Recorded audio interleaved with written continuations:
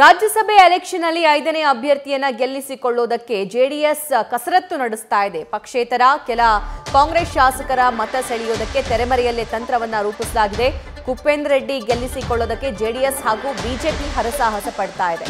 ಪಕ್ಷೇತರರ ಶಾಸಕರಾದ ಶಾಸಕರನ್ನ ಸಂಪರ್ಕ ಮಾಡುವಂತ ಕೆಲಸ ಬಿಜೆಪಿ ಹಾಗೂ ಜೆಡಿಎಸ್ ನಾಯಕರು ಮಾಡ್ತಾ ಇದ್ದಾರೆ.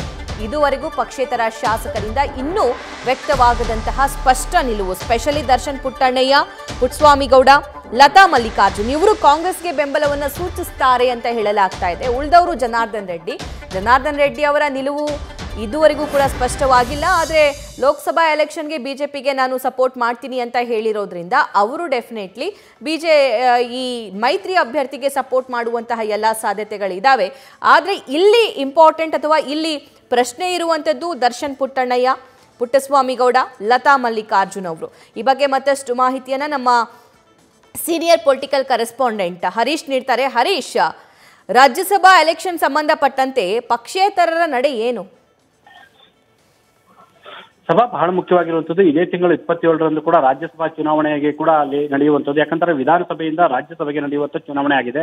ನಾಲ್ಕು ಸ್ಥಾನಗಳಲ್ಲಿ ಮೂರು ಸ್ಥಾನಗಳನ್ನ ಕಾಂಗ್ರೆಸ್ ನಿರಾಯಸವಾಗಿ ಗೆಲ್ಲುವಂತ ಎಲ್ಲ ಅವಕಾಶಗಳು ಇರುವಂತದ್ದು ಯಾಕಂತಂದ್ರೆ ನಾಲ್ಕು ಸ್ಥಾನಗಳಲ್ಲಿ ಇನ್ನೂ ಒಂದು ಹೆಚ್ಚುವರಿಯಾಗಿ ಐದನೇ ಅಭ್ಯರ್ಥಿಯನ್ನ ಕೂಡ ಈಗ ಜೆಡಿಎಸ್, ಬಿಜೆಪಿ ಮೈತ್ರಿಕೂಟ ಹಾಕಿರುವಂತದ್ದು ಕುಪೇಂದ್ರ ರೆಡ್ಡಿ ಅವರನ್ನ ಈಗಾಗಲೇ ಕಣಕ್ಕಿಳಿಸಿರುವಂತದ್ದು ಹಾಗಾಗಿ ಇದು ಚುನಾವಣೆ ನಡೆಯುವಂತಹ ಈ ಅವಕಾಶ ಇದೆ. ಹಾಗಾಗಿ ಎಲ್ಲೋ ಒಂದ್ ಕಡೆ ಕುಪೇಂದ್ರ ರೆಡ್ಡಿ ಅವರಿಗೆ ಗೆಲುವಿನ ಲೆಕ್ಕಾಚಾರದಲ್ಲಿ ಜೆಡಿಎಸ್ ಮತ್ತೆ ಬಿಜೆಪಿ ಸಾಕಷ್ಟು ಅರ್ಥಾಸವನ್ನ ನಡೆಸ್ತಾ ಇರುವಂತದ್ದು. ಕೊರತೆ ಇರುವಂತಹ ಏಳು ಮತಗಳ ಪೈಕಿ ಈಗ ಸಹಜವಾಗಿ ಕೂಡ ಕಾಂಗ್ರೆಸ್ ಕಾಂಗ್ರೆಸ್ನ ನಾಲ್ವರು ಶಾಸಕರ ಮತಗಳನ್ನ ಸೆಳೆಯಬೇಕಾದಂತ ಒಂದು ಅನಿವಾರ್ಯತೆ. ಜೊತೆಗೆ ಮೂವರು ಅಂದ್ರೆ ಪಕ್ಷೇತರ ಸದಸ್ಯರಾಗಿರುವಂತಹ ದರ್ಶನ್ ಪುಟ್ಟಣೆ ಆಗಿರ್ಬೋದು, ಲತಾ ಮಲ್ಲಿಕಾರ್ಜುನ್ ಆಗಿರ್ಬೋದು, ಮತ್ತೆ ಪುಟ್ಟಸ್ವಾಮಿ ಗೌಡರು ಈ ಮೂವರನ್ನ ಸಂಪರ್ಕಿಸಿ ಸಾಕಷ್ಟು ಕೂಡ ಅವರನ್ನ ಮತಗಳನ್ನಾಗಿ ಸೆಳೆಯುವಂತ ಒಂದು ಪ್ರಯತ್ನ ಕೂಡ ಬಿಜೆಪಿ ಜೆಡಿಎಸ್ ಇಂದ ಆಗ್ತಿದೆ.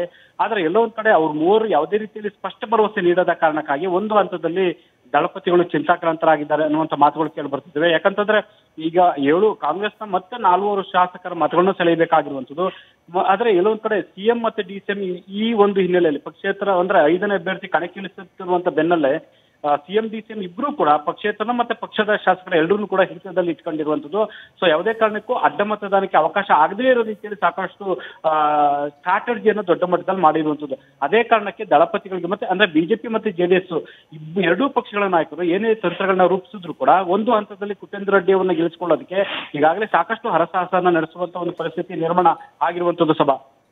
Thank you Harish news first ನಿರ್ಭೀತಿಯಿಂದ ನಿಮ್ಮ ಪರವಾಗಿ.